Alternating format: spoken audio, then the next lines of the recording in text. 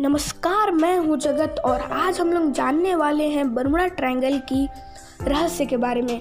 Bermuda triangle या Bermuda त्रिभुज, उत्तर पश्चिम Atlantic महासागर का एक क्षेत्र है जिसमें कुछ विमान और ह्यूमन एरर या एक्ट्स ऑफ़ नेचर की सीमाओं के परे है। लोकांकृत संस्कृति ने गायब होने की कुछ घटनाओं को पैरानॉर्मल और लॉज ऑफ़ फिजिक्स के नियमबन या भूमि से परे की जीवती वस्तुओं की गतिविधियों से संबंध बताया गया है।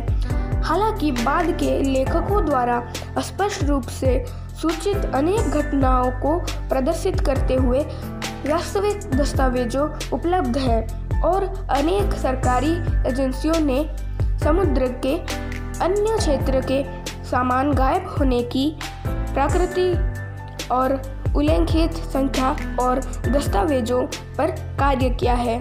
परंतु अभी तक उसकी पूरी सच्चाई की खोज वैज्ञानिकों द्वारा जारी है।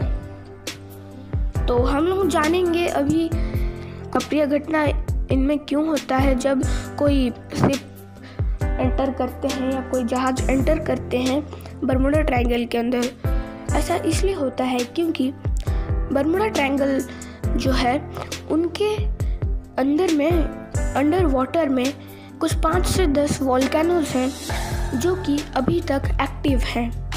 जो जब इरप्ट होते हैं तो फिर उनमें बहुत ही बड़ा एक धमाका होता है और उन्हीं में से ही कुछ केमिकल रिलीज़ होते हैं। जिन केमिकल्स के द्वारा हमारा ऊपरी तनाव घट जाता है और हम लोग तैर नहीं पाते हैं।